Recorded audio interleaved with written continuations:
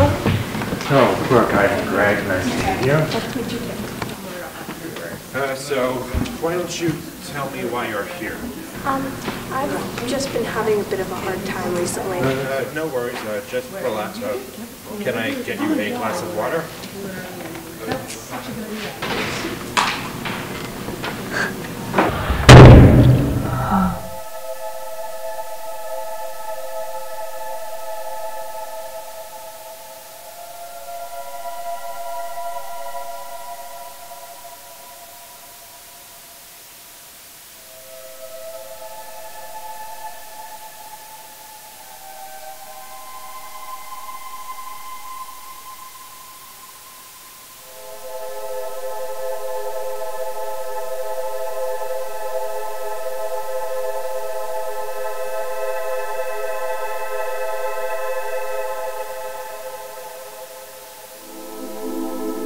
Thanks.